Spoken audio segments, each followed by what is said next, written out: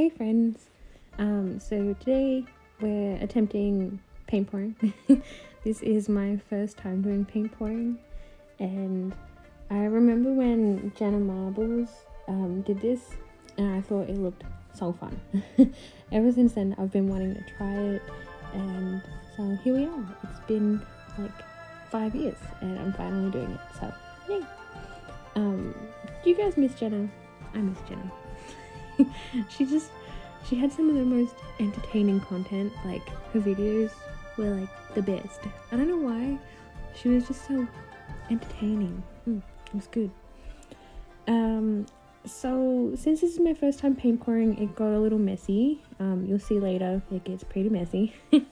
Um so the only prep i did for this was to get that um little kit from kmart which had some um, it had the plastic sheet in it. I basically just wanted the plastic sheet. Um, so yeah, that's pretty much the only prep that I did for this. Um, so it gets a little messy. Yes. And I sort of didn't prepare a lot because I remember the first time I watched Jenna try it, I think it was the first time she tried it too.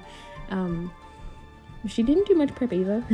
and I remember hers came out pretty good. Like, I feel like you don't really need to buy expensive pour mixing mediums and stuff. I don't know. I don't know how to explain what I mean. Anyway, it looked like they didn't use a lot of prep, so um, I didn't either. and yeah, I think mine come out alright, I guess. So yeah, I'm pretty happy with how mine turned out um, except for the first one you'll see I don't like the shape that it makes I don't know why but it reminds me of a foot um, so you'll see that soon.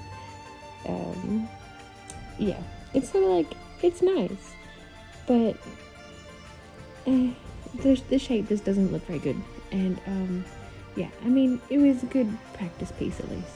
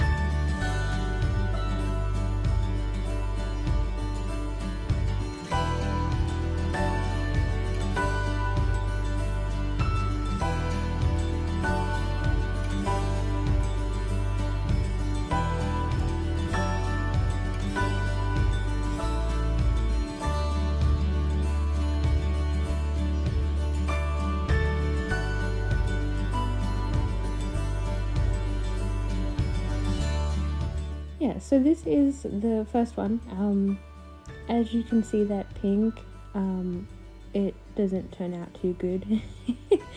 Um it's not bad. I just don't particularly like this one. Um, so yeah